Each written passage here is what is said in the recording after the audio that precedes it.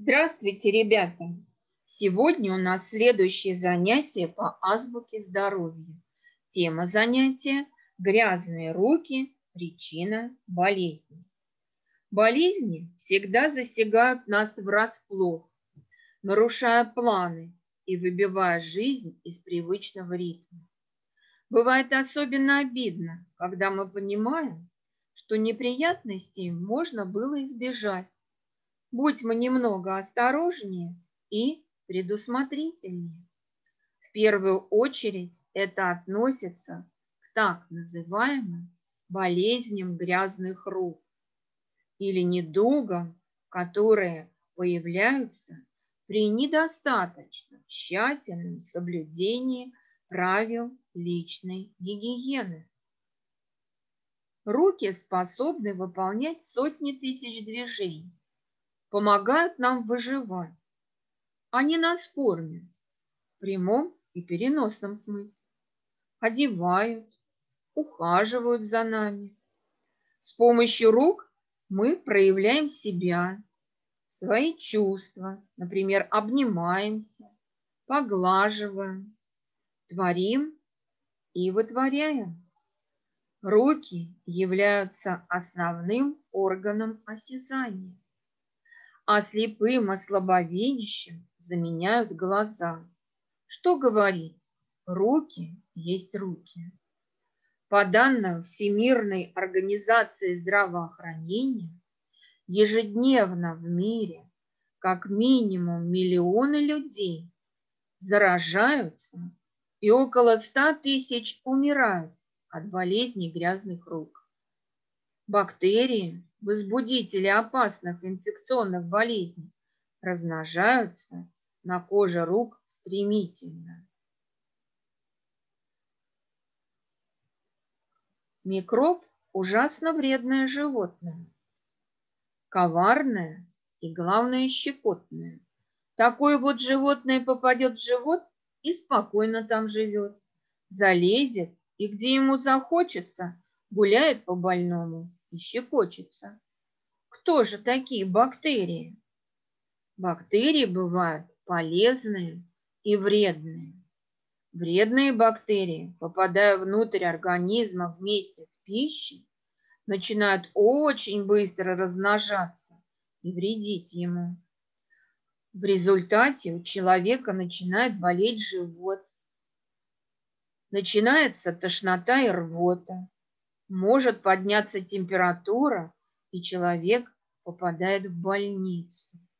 Вредные бактерии вызывают и порчу продуктов. Они портят книги, деревянные изделия, сено. А бывают бактерии полезные. Они помогают при создании разных лекарств, при выработке молочных продуктов, привычным нам кефира, йогурта, сметаны. А в сельском хозяйстве для создания удобрений для растений. Полезные бактерии используются для получения антибиотиков, лекарства такого. Они образуют спирт, уксус, образуют перегной почвы, минеральные соли. Где же живут микробы? Там, где грязь, живут микробы мелкие, не увидать. Их микробов очень много, невозможно сосчитать. Не только на улице, в пыли, в воздухе и грязи, но и в любой воде, в доме, на всех предметах и даже на самом человеке. Вот где живут микробы. Возбудители недуга, как правило, находятся на тех местах и предметах, к которым прикасается большое количество людей.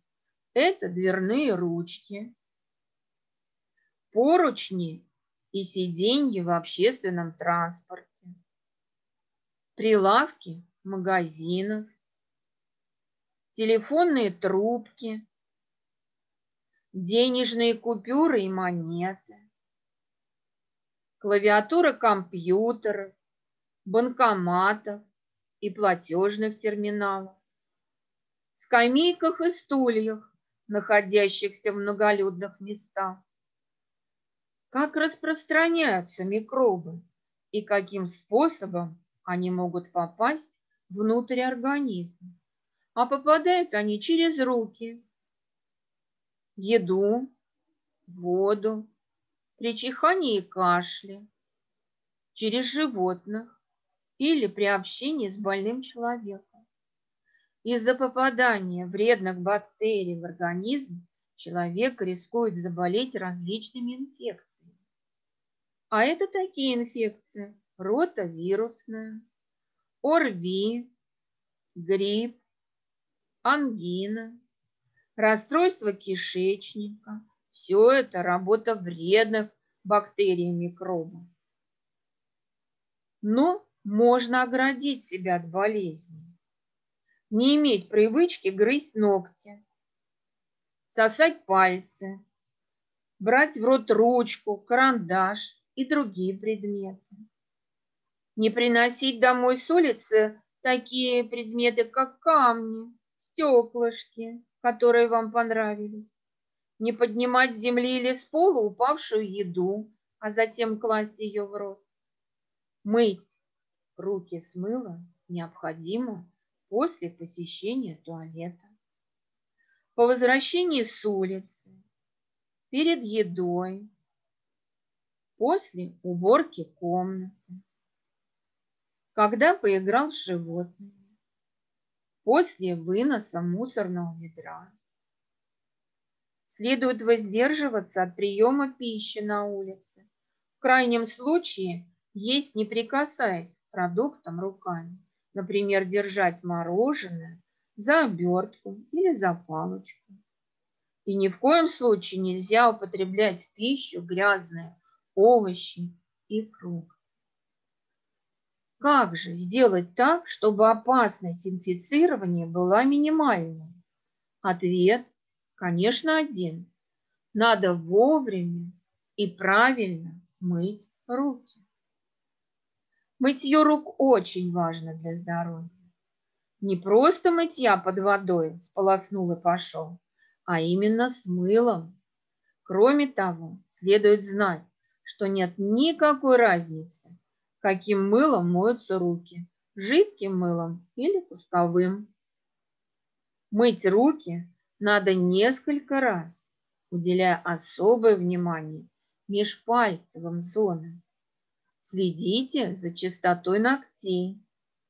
Вычищайте грязь из-под ногтей с помощью щеточки. Итак, правильный порядок мытья рук. Нанесите на руки одну-две капли жидкого мыла. Разотрите по внутренней стороне ладони и меж скрещенными пальцами. Затем по тыльной стороне кистей, рук и между пальцами. Сцепите пальцы рук и совершите несколько втирающих движений. Обхватив большой палец, сделайте несколько вращательных движений кистью. Потрите кончиками пальцев о противоположную ладонь. И еще одна очень важная рекомендация. Мыть руки нужно не меньше, чем полминуты, а то и дольше. И не обязательно ходить всякий раз в ванную с часами. Можно просто спеть знакомую вам песенку или отрывок из нее которая по времени длится не меньше 20-30 секунд. Например, два куплета из всем известной песенки «В лесу родилась елочка».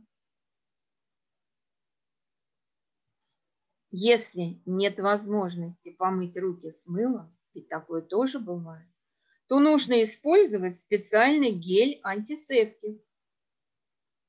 Если руки очень грязные, то перед использованием геля Протрите их влажными салфетками. Вытирайте руки чистым и сухим полотенцем. Меняйте его почаще или используйте одноразовые полотенца. Оказывается, одноразовые бумажные полотенца, по мнению Всемирной организации здравоохранения, являются самыми лучшими и безопасными средствами для вытирания рук. Правильно сушить руки так же важно, как и правильно их мыть потому как при сушке окончательно удаляются оставшиеся еще бактерии. При правильном соблюдении элементарных правил гигиены можно избежать заражения инфекциями. А это не так трудно соблюдать правила личной гигиены. Известный польский поэт Юлиан Товим написал такое письмо ко всем детям по одному очень важному делу. В этом письме есть такие строчки. Нужно мыться непременно утром, вечером и днем, перед каждой едою, после сна и перед сном. Мойте руки чаще и будьте здоровы!